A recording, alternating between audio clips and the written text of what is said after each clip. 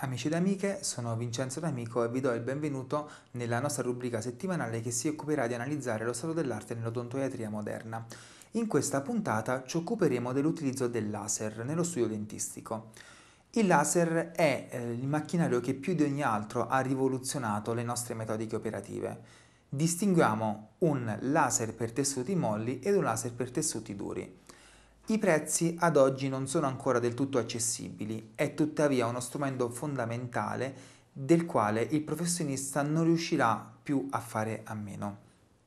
Se andiamo ad analizzare il laser per i tessuti molli, esso, eh, con, meglio conosciuto come laser a diodi, eh, ci dà la possibilità di lavorare con ridotti quantitativi di anestetici, la capacità di coagulare il eh, tessuto e di conseguenza eh, non avere eh, eccessivi sanguinamenti durante gli interventi, la capacità di andare a disinfettare sia le tasche parodontali, quelle dei scienze ossee, cioè che sono tipiche delle persone con la uh, parodontite, quella che più comunemente viene, veniva chiamata piorrea, e a livello endodontico, cioè nelle devitalizzazioni, ci permette di avere una disinfezione maggiore nei canali radicolari. Per quanto riguarda l'azione sui tessuti duri, e per tessuti duri intendiamo il tessuto dentale e il tessuto osseo, il macchinario di elezione è sicuramente il laser ad erbium. Il laser ad erbium, ad erbium ha sostituito l'utilizzo del trapano nella cura della carie, quindi non abbiamo più il lo spiacevole dolore, la sensazione spiacevole quando non si utilizza anestetico, ma a livello microscopico non abbiamo un, il surriscaldamento della superficie e le microfratture che la punta diamantata inevitabilmente creava con il contatto con il dente.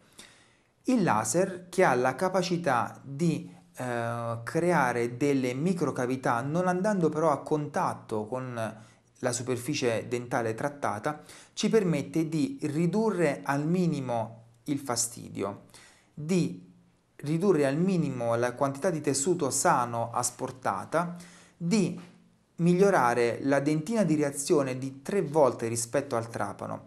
Che cosa intendiamo per dentina di reazione? Intendiamo una forma di guarigione del dente, quindi una cicatrizzazione delle parti più interne del dente.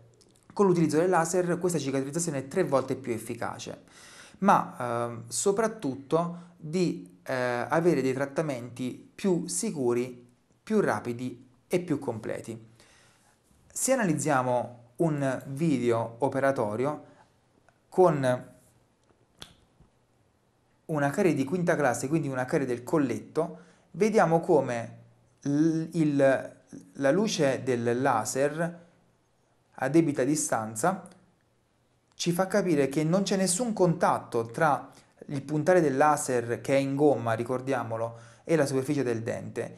Il fascio di luce, che è l'azione del laser, unita ad una uh, importante irrorazione, perché il tessuto comunque ha un surriscaldamento che deve essere eh, raffreddato appunto con, con l'acqua, ci permette di essere selettivi verso il tessuto morto ecco che le parti sane del dente vengono risparmiate ed ecco che anche la mordenzatura, che è la nostra preparazione per l'adesione della cavità, è già stata eseguita senza l'utilizzo di quegli spiacevoli acidi che vengono uh, utilizzati all'interno del, um, della bocca per preparare il dente.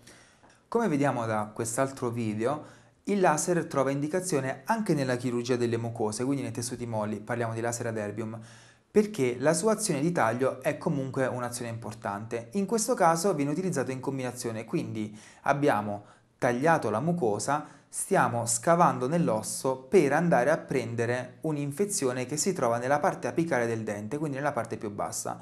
In questi casi dove il dente devitalizzato non può essere ritrattato perché magari c'è un perno o perché eh, il canale è chiuso, preferiamo intervenire con un intervento definito apicectomia con il quale andiamo a rimuovere direttamente la zona infetta. Ecco che il laser, a differenza della turbina, ci dà una maggiore versatilità, un maggior rispetto sia dei tessuti molli che dei tessuti duri e ci permette poi di tagliare indistintamente sia l'osso che il dente.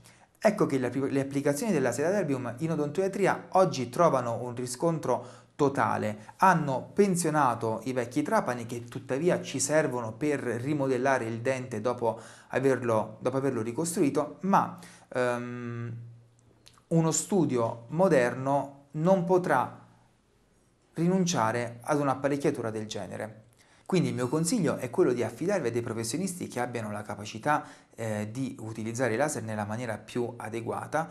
Nella mia esperienza professionale tutto ciò ha totalmente rivoluzionato il mio modo di fare odontoiatria, in meglio, sia per lo studio che per il paziente. Con questa carrellata sull'utilizzo dei laser abbiamo concluso e vi do appuntamento alla prossima puntata. Dal dottor Vincenzo D'Amico è tutto.